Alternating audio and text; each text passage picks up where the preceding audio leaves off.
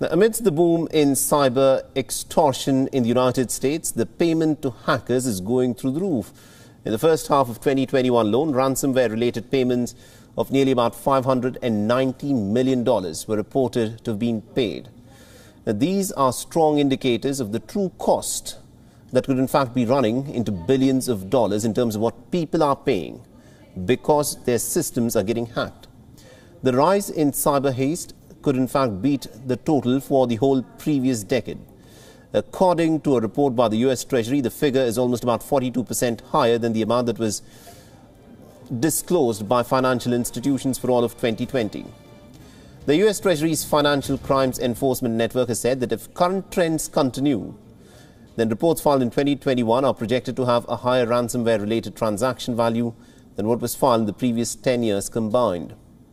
Now, this trend potentially reflects the increasing overall prevalence of the ransomware-related incidents as well as improved detection and reporting. It was unclear if the jump represented an increased awareness of the cybercrime, and the victims of the attacks have not been identified in the report. But the report further noted that some of the ransoms were paid before January 2021. Recent assaults on a major U.S. oil pipeline, a meat packaging company, and also Microsoft Exchange email system has drawn attention to the vulnerability of the U.S. infrastructure to digital pirates.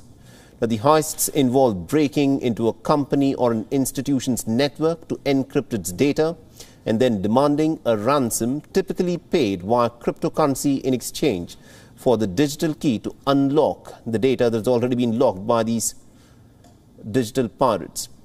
Washington is sought to crack down on a sharp rise in these digital attacks. Sanctions were issued against an online exchange where illicit operators allegedly swapped cryptocurrency for cash.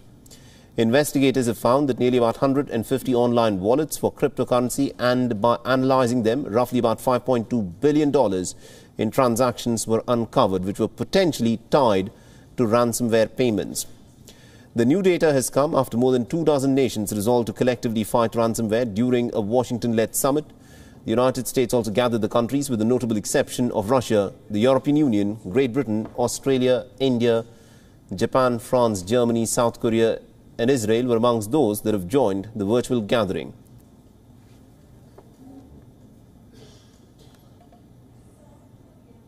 WION is now available in your country. Download the app now and get all the news on the move.